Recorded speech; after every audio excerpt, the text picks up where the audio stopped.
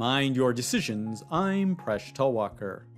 Suppose ax plus by is equal to 5, ax squared plus by squared is equal to 10, ax cubed plus by cubed is equal to 50, and ax to the power 4 plus by to the power 4 is equal to 130. What is the value of 13 multiplied by x plus y minus xy minus 120 multiplied by a plus b?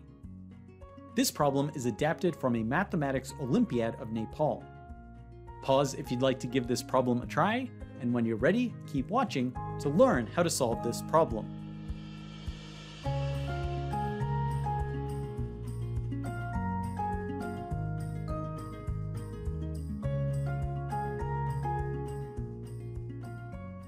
Now, rather than individually solving for x, y, a, and b, we'll solve for the quantity x plus y, the quantity xy, and the quantity a plus b. These will be easier to solve for, and we'll still have the required information to evaluate the original problem. Seeing this kind of trick only comes from practice and from solving many math videos per month. So let's get started. We'll start with the second degree equation.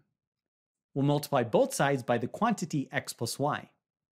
We'll then distribute the left-hand side. We're going to get another equation. We can now simplify this equation. Notice we have ax cubed plus by cubed, and that's equal to 50. We substitute that. For the remaining two terms, we factor out xy, and we're left with a factor of ax plus by. But this is interesting because we know that's equal to 5. So we'll substitute that in. We'll now take this entire equation and put it to the side. We'll do the same sort of process on the cubic equation. We'll multiply both sides by the quantity x plus y, and then we'll distribute the left-hand side. We're going to get another equation which will have many simplifications. Here, ax to the power 4 plus by to the power 4 is equal to 130. Then we factor out xy and we're left with a factor ax squared plus by squared. This is equal to 10, which we'll substitute. We now consider these two equations. We'll multiply this second equation by 2 so that the factor on xy is equal to 10. We now subtract the second equation and we'll eliminate the entire xy factor from both equations. We get 30 is equal to 30 multiplied by the quantity x plus y. We can then solve that x plus y is equal to 1. We substitute that back into the first equation, and we can solve that xy is equal to negative 8. We're making good progress, and now we'll consider the linear equation. We'll multiply both sides by the quantity x plus y. We'll then distribute on the left-hand side, and we're going to end up with an equation which will simplify.